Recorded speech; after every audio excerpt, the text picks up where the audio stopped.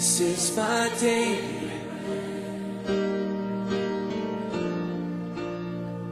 This is my daily bread. Your very I want to uh, request for you to take your notebooks, Spoken out because what you're about to see is going to be a big blessing to you and myself. So, with the joy of the Lord, put your hands together for Mrs. Nellie Oduor. Give a beautiful hand clap. A very wonderful All Saints Cathedral. Amen. Thank you so much. Amen. It's always awesome to be back in this service. Full of energy. The worship is just awesome. Indeed, the Lord is moving in this place. Let's pray. Our precious and loving Father, this afternoon, Lord, we come before your throne of mercy, thanking you for opportunities such as this. We thank you, Lord, for your word that is coming forth. Find me a worthy vessel to be used of you, O Lord. May your word come out clear. May your people hear you clearly. May their hearts be receptive. May they hear you because that is their desire. May they leave this place blessed. For we pray all this in Jesus' name. Amen. Uh, as you've heard, my name is Nellie. I love the Lord as my personal Savior. For those who are new, who, who are the, coming here for the first time, I'm married um, to one fine person, man of God, Reverend John Mark. We've got two, two children, two girls. And indeed, um, I'm privileged to, to bring forth the Lord's word this morning or this afternoon, as per se. I also want to thank the provost and his team, the worship minister, for also inviting me to bring forth this powerful message on spiritual warfare. Indeed, uh, this month we've been looking at the book of Ephesians, uh, especially this particular verses 10 to 20 about spiritual warfare. This particular morning, we're looking at things to put on. And we, we want to, to see how can we be prepared for the spiritual warfare. The Apostle Paul, when he was writing um, this epistle uh, to the Ephesians, um, the people in Eph- Ephesus, he was imprisoned in Rome for two years. You can imagine being guarded by the soldier. The Roman soldiers were full of armor, you know, the full metal armor. And um, seeing these soldiers for two years must have made an impression on him. He saw the armor day in, day out, but he must have been quite acquainted. You can see from um, the, the picture on the um, overhead. He learned to understand the function of each piece, the purpose it served, and why it was important. So this morning, we just want to see how is this relevant? Because at some point, God must have inspired him um, an analogy in his mind. Just as the Roman soldiers required physical armor, the, the Christians need spiritual armor to successfully fight our wars. Paul saw each piece of the Roman armor as a powerful correlation with our own spiritual defenses. We are in a spiritual warfare, we are fighting. But maybe some of you may be wondering who are we fighting? Why do we need an armor? In Corinthians, the second Corinthians chapter 4, verses 8 to 9 states, We are hard pressed on every side, yet we are not crushed. We are perplexed, but we are not despairing. We may be persecuted, but we are not forsaken. We may be struck down, but not destroyed.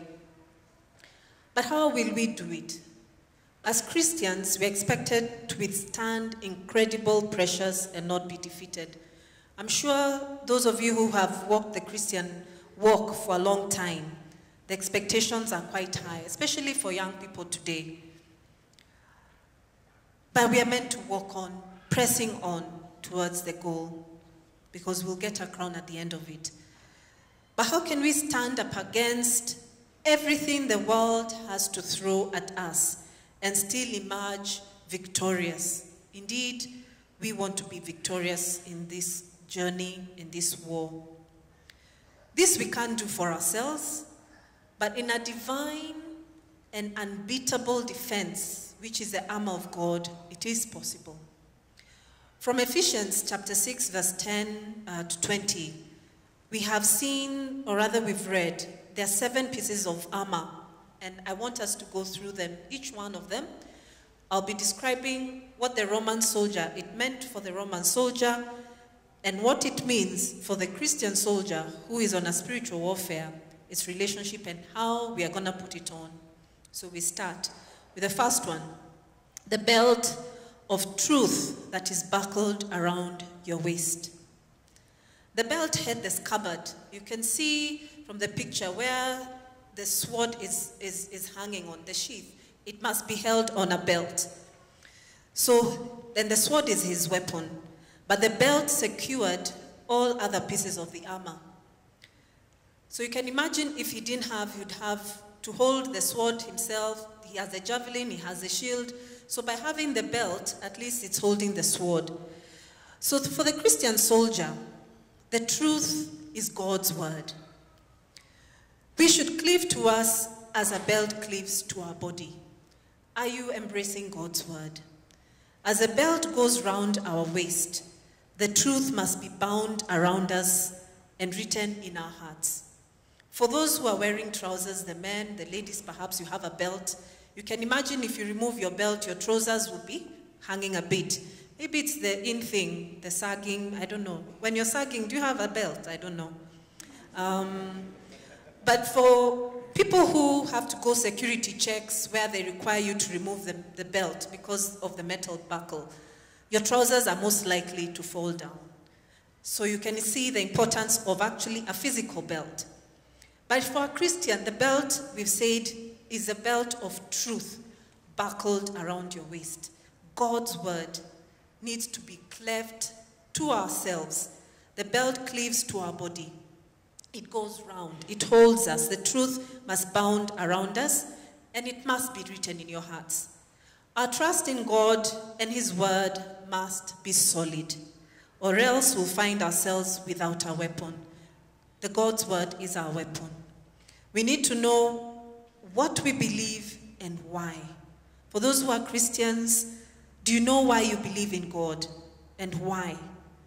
I'm sure this week you must have heard about in the news about the story of the Atheists um, Association or Foundation, where they want to petition the government to remove religious study in schools. Quite a scary thought. But for those who've been following actually news around the world, that's been done in the US, in Australia, in the Western world. They've removed, removed religious study. So you as a Christian family, you have to look for Christian-based schools.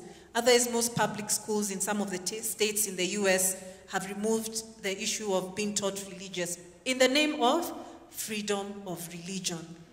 Why are you pushing religion into somebody's face if they don't need it? But we pray that will not go far. But you can imagine that is warfare, spiritual warfare, things that we need to fight. We need to know God's word so that we can fight and defend um, and defend Him, Lord, uh, uh, our God, in terms of the word. The second piece of armor is the breastplate of righteousness. This is the central part of the soldier's armor because it's covering the front part your heart, the lungs, the torso. These are basically, if you, if, of course, if your heart is not beating, you're dead. So it's quite um, an important piece of armor for the soldier. Righteousness is to do what is right in God's eyes. Are you doing what is right in God's eyes? Because the opposite of righteousness is sin, which leads to death. And death will be cut off from God's protection. So the sin will cut you off from God's protection. So once we put on the breastplate of righteousness, we must not remove it. So once you've accepted the Lord as your Savior, it is a lifetime of action. It's a daily walk with the Lord. And when we do that, you'll find peace, quietness, and assurance forever. I'm sure for those who accepted the Lord as their personal Savior, the first time you did, you must have felt a load off your shoulders. I don't know whether you felt that peace. That is what the breastplate of righteousness does. Because you want to do what is right in God's eyes. What laws of God do you find yourself likely to compromise? We are living in a, an age where Christianity, people are taking it wishy washy, um, very, you, you, get away with small white lies. I'm sure you've heard, especially in this age of mobile phones, inakuja, nakuja, and that time somebody's in the house. Or even in a matatu, you're saying, niko and that time they're in Nairobi. You know, small white lies, things you tell even your parents, small white lies as to where you are or why or, or, or, what, or what you're doing. Immorality, compromising.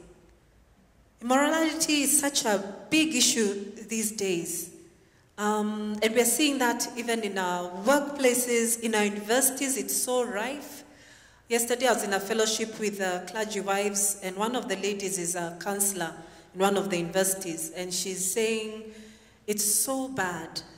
People are hurting through this immorality. Young people falling for sin and sexual sin, especially, and they get disappointed, and they have they've been left alone, and um, either now become pregnant or even getting uh, uh, sexual transmitted diseases or HIV/AIDS. It's so rife. Issue of gays and lesbianism. Things that we're taking that, you know, it's, it's, um, it's, it's part of life now. We, we are taking them very lightly. That's what I'm trying to say. But we are compromising our faith in the Lord. And we need to know and remember what are we doing right in God's eyes.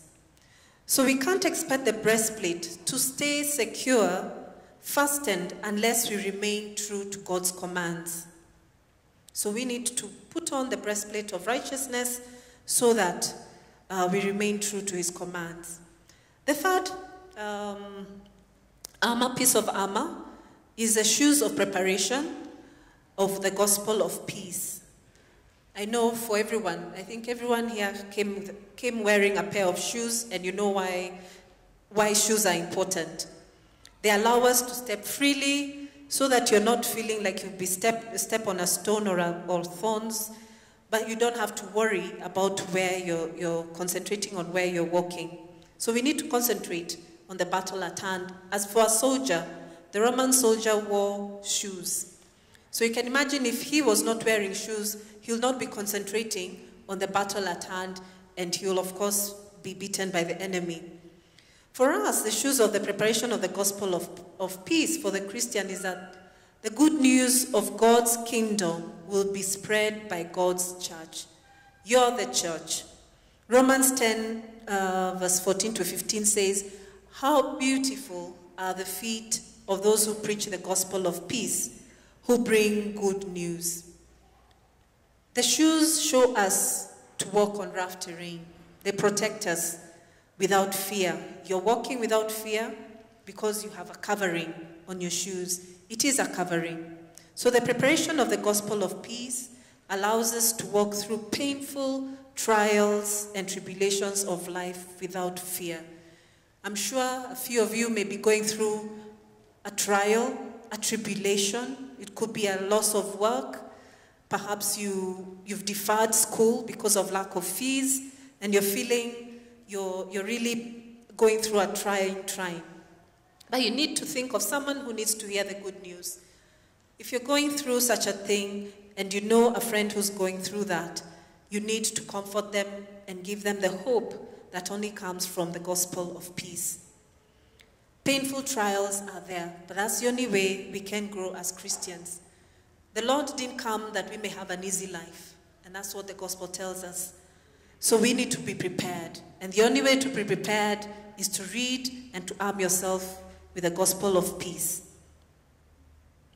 Because we are blessed as peacemakers, for we'll be called the sons of God. The fourth part of um, the arm of God is the shield of faith. Um, the shield is a slightly curved. You can see the, the soldier holding it is that thing that he has on, um, out in front of him to protect him from arrows, the spears that will be thrown at him. For anyone who's ever watched some of those movies of, the, of that time, they used that to, to, to, to protect them. There were also other big ones, which would even be quite heavy to hold. But this was an impressive line uh, of defense, guarding and deflecting the arrows or the spears that would be thrown at them. Faith, the shield of faith means that faith is an irrefutable truth.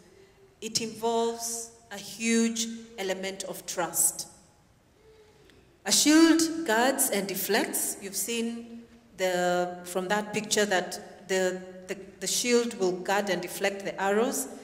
And that's what we need. Our faith needs to protect us and guard us from the enemy, who is Satan. He's always ready and hurling his darts of fear, of doubt, and worry. Have you seen so many in recent times? We've prayed and you've thought that the Lord is not listening to you. So you decide to look at other mediums.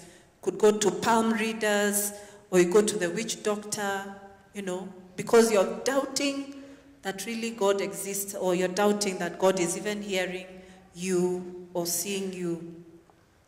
So we need to protect ourselves and deflect those doubts, deflect those doubts, darts of fear, darts of doubt, darts of worry, because these darts will hurt us. If we let our shield of faith down, if you can imagine the, the soldier, if he puts down his shield, his body is now ready for attack. So when we stop believing in God, it, uh, who is in control, so we need to know that we need to put up our shield of faith so that we continue uh, allowing God to work in our lives. Let's not fear. Let's not worry. Let's not be anxious of anything because He has promised to, to, to meet us at our points of need. He's working everything out for our good, and we need to remind ourselves of God's promises. Are you familiar with God's promises? And that's why we're encouraging you to read the Bible. Remind yourself of God's promises. When you feel you're so perplexed and pushed, when you feel as if the world is just overwhelming and, and you just can't take it anymore, God's promises, there are so many in the Bible. They should be the ones that should encourage you that He indeed is listening to you, He's watching out for you, He knows what you're going through, and He'll not allow any more temptation to, that you can handle, any more that He can be able to handle. Because He's bigger than that problem that you're going through, and He's not forgotten you. So we need to continue trusting in Him and having faith in Him. And that's why we need to put up the shield of faith, continue wearing that shield. The fifth part of the armor is a helmet of salvation. The helmet, you can see what he's wearing. And I think for those who've seen the boda bodas with um, the motorcycle boda bodas, wearing a helmet is for their protection. And you as a passenger, I don't know whether you usually ask for the helmet. It is the law that you need to wear a helmet um, because it protects your head in an event of an accident. Hopefully that um, we are be able to to, to follow that law. But the helmet of salvation for a Christian is that salvation is deliverance of eternal death into God's kingdom. How many know the Lord as their personal Savior? Because Satan hates that. We choose to be on that path of salvation, he will stop at nothing to destroy us. And that's why you find immediately you receive the Lord as a personal Savior or get saved, you find so much attack and you start wondering, is this walk worth it? But as long as you get mentored and indeed protected and learn God's word, because it will be able to be protect your thoughts from the enemy's attacks and temptations to disobey God. The helmet is vital for it protects the head, which is vulnerable to fatal blows. Even the ones who are boxing, I'm sure you've seen boxers, they always have also a helmet because you can imagine as they're receiving blows, they, they, if they didn't have the helmet, it would be much more detrimental to their health. So we need to work our own salvation. with fear and trembling. And that's what Philippians 2:12 tells us. Work your own salvation with fear and trembling. There are many that are being, you know, um, you're finding that uh, you've been saved, but you're receiving a lot of uh, pressure from either your family, your friends who are not saved. Why are you saved? Pressure at work, perhaps, because you're insisting on meditations and prayer and or Bible study. Press on, my sister and brother. Press on, because indeed you'll wear the helmet of salvation so that others could be saved. We are called individually to be responsible for whether or not we choose to accept the invitation into God's kingdom or staying on the path of, of obedience with His help. So we need to make a choice. Are you going to put on the helmet of salvation so that we remain on the path of obedience with His help? Because, like I said, it's not an easy journey. We can only do that by His help. We are only saved by His grace. It's not because we do good things or we are so good, because we are prone to sinning, but we need to remain on that obedience. Because even when we fall, He'll pick us up. He'll lift us up and protect us and guide us continuously. The sixth part of the armor is the sword of the Spirit, the Word of God. The sword of the Spirit, is the Word of God. The sword, as you could see from that picture, is that it, it's the means of attack. But you can imagine the sword is something that you, you're attacking something or somebody who's very close. You can imagine you can't use, because um, the sword is for close combat. And the only way um, that we can fight closely is to walk with God closely. God's word illuminates or shines and reveals to us the good and the bad, the wise and the unwise. We can be destroyed by lack of knowledge of God. In Hosea 4 6, that's what it says. But we can be blessed if we hear and keep the word of God. So you can imagine, as like I said with the sword, he when the soldier was using the sword, it had to be with a close enemy. So when you're surrounded with the enemy, you need the closest weapon, and that is the words, God's word, to discern the truth and to follow it. And the only way we can discern the truth is if we read the Bible every day, regularly. That's the only way you keep connected with the Holy Spirit who reveals His word. The word, the sword, needs to be sharpened if it's remain useful. Have you ever cut meat with a blunt knife? Is it easy? You know, it's very hard. And, and it's the same thing with a sword. If it's not sharp and you're attacking something, it will not serve the purpose. In fact, if it's an animal you're killing, it most likely may now kill you. The sword needs to be sharpened. And the only way we can sharpen our sword as a spiritual, Christian spiritual warfare is to read God's word regularly. Set time aside every day for regular Bible study. And I think the provost um, keeps uh, saying that and reminding us, even with the theme of, um, of this church this year, growing to maturity. And I'm sure he must have mentioned this at the beginning of the year, where he was saying that we need to be a Bible reading church. For those who are new in this church, we need to read the Bible and know it and learn it and discern what the Lord's, by, what the Lord's word is telling us. What is God telling us each and every day? The Bible may have been written more than 2,000 years ago, but it's still relevant today. We are seeing a lot of attack, we are seeing a lot of spiritual warfare, whether it's the Al Shabaab, whether it's insecurity, a lot of things that were already for, uh, prophesied, that the, those are the tough days that will come, drought, all those things. We need to, to be careful and be ready because um, the end is nigh.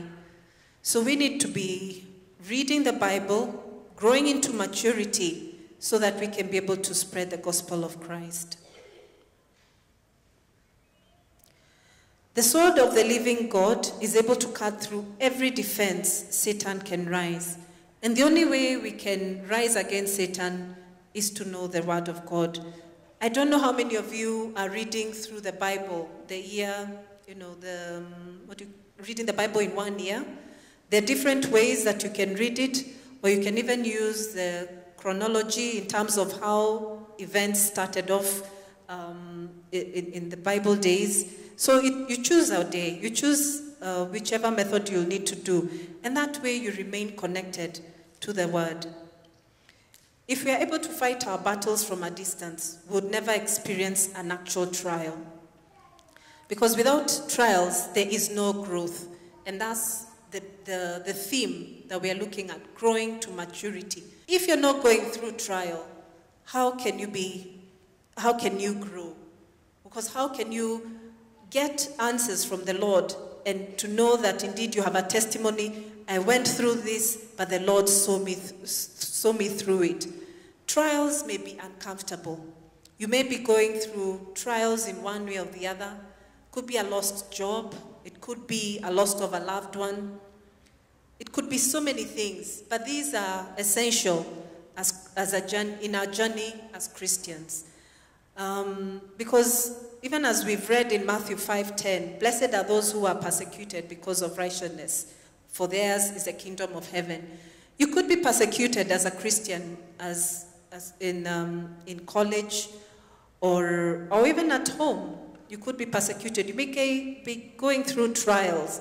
And I know of families where one person is the only one who knows the Lord and the others don't. And it's so difficult for them. But as long as they remain true to God, He will come to see them. I've seen testimonies of people who've continually prayed for everyone to get saved in their families, or and they finally go through. But it's not an easy journey. Trials are expected. They can be uncomfortable, but they are essential for our journey as Christians. The last uh, piece of armor is the, the power of prayer and supplication in the spirit. Prayer. I don't know whether the soldiers, the Roman soldiers, prayed, but for Paul, he prayed while he was in prison. And that is what we need to equip ourselves with God's armor. We must also be determined to keep a steady line in connection with Him. How is your prayer life? Is it regular? Do you pray on Sunday just when you come to church and the, it serves you the whole week until you come next Sunday? Or do you set time every day to talk to your God? He's the commander of this spiritual army, remember. And he alone knows how to lead it to victory because we are victorious. As Christians, we are fighting a Christian battle and we want to win it victoriously. But we need to listen to the commander. For any army, they have, for any army to succeed, they have to listen to a commander, isn't it? So for the spiritual army, our commander is the Lord. So we need to listen to him. And how do we listen to him? It's the only time when we talk to him, when we are praying, when you're searching.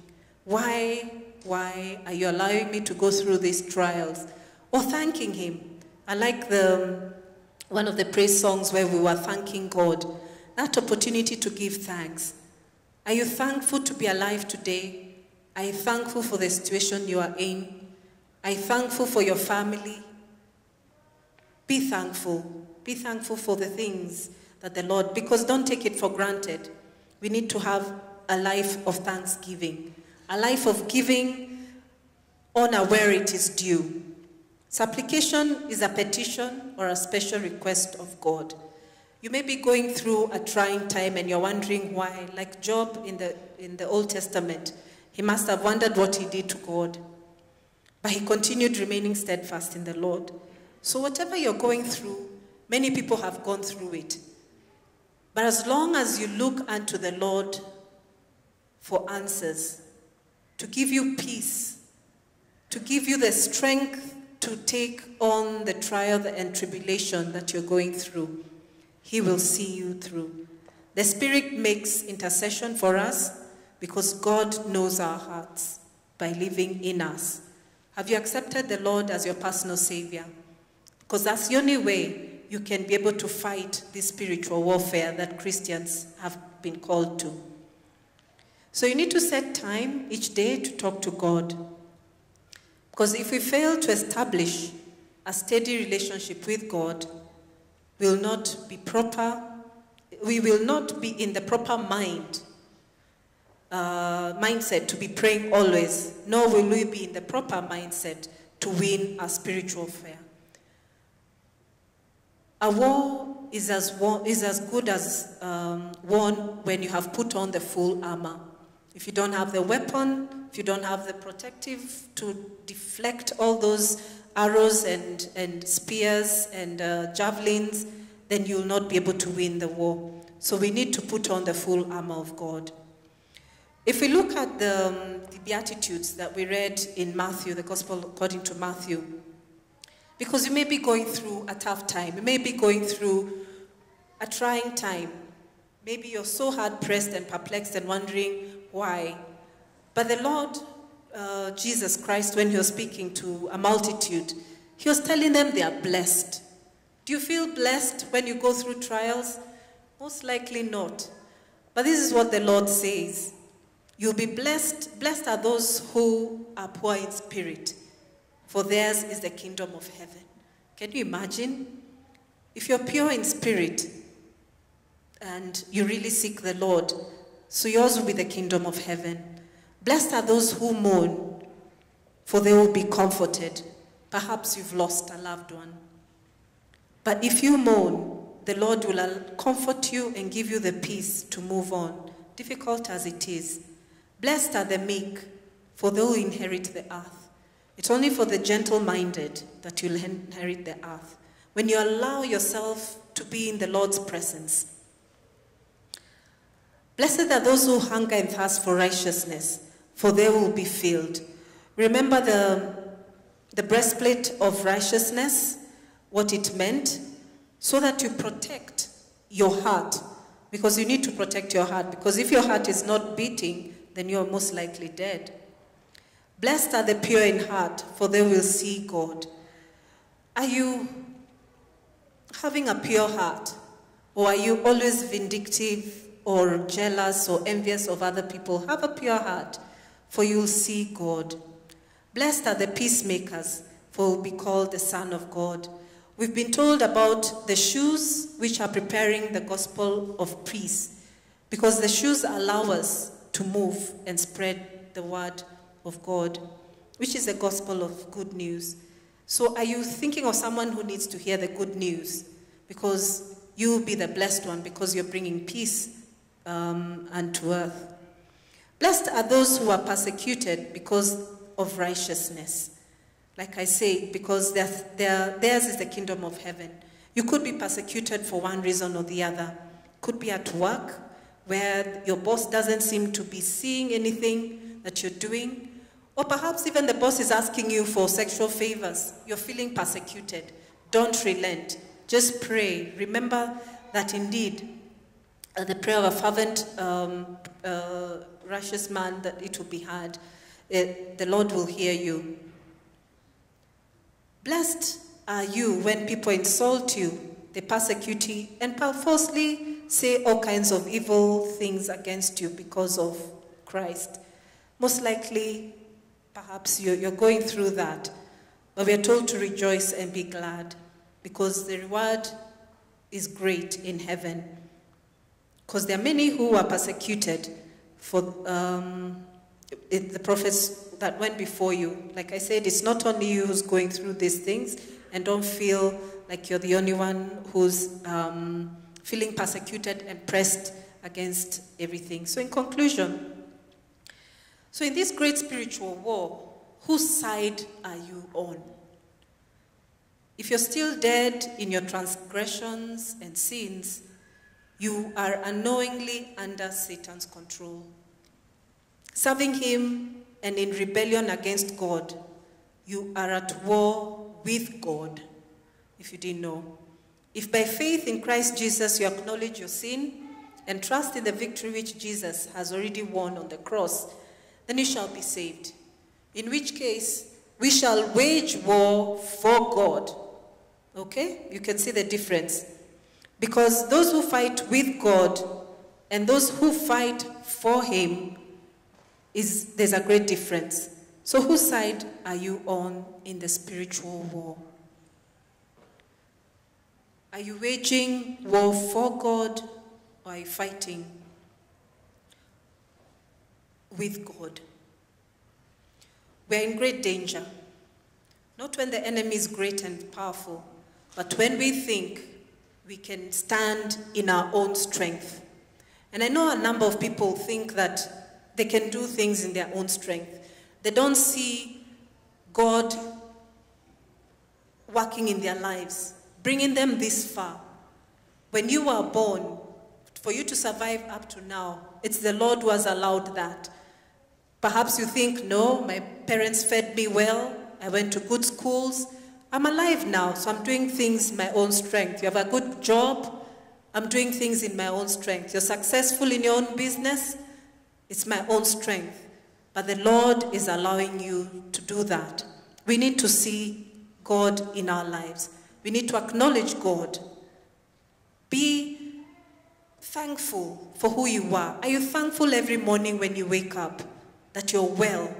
There are people who wake up and they can't get out of bed. There are others who don't even see the next day. Be grateful each and every day. And I like that chorus that we sang. Are you grateful for who you are and what the Lord is doing in your, in your lives? Don't take it for granted. For those who are living very far from their parents, do you call them? Are you thankful for them, even through the struggles that you may have gone through, even as a, growing up in their homes? Be thankful. There are some who didn't have parents. So when we think we're doing things in our own strength, rather than the strength which God provides, we are in danger.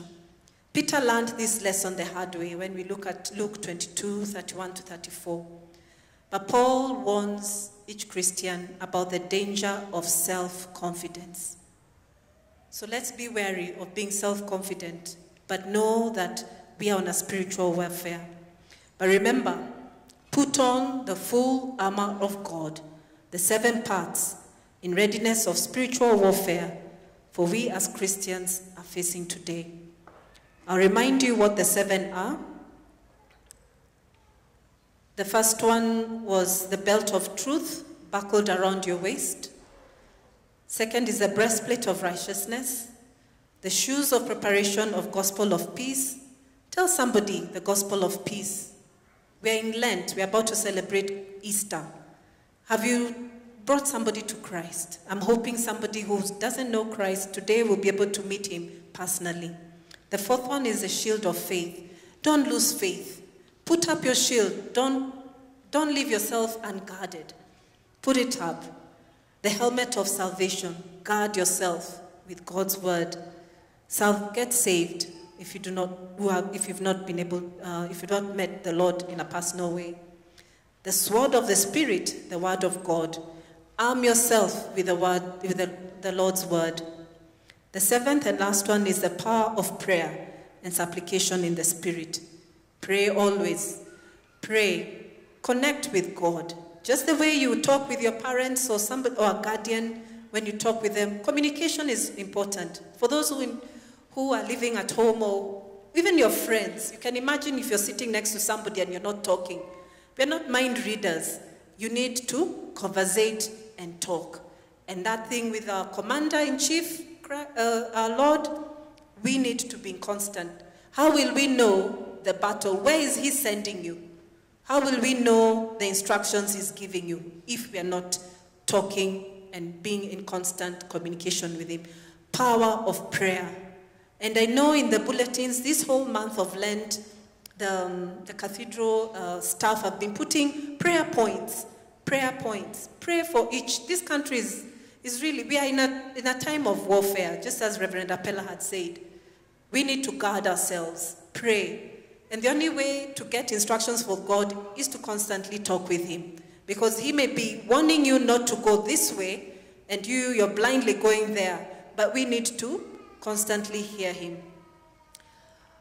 And we just want to ask that we know each part of the arm of God and to uphold it. Because if one piece is down, then you're not fully covered. So we need to put on the full armor of God.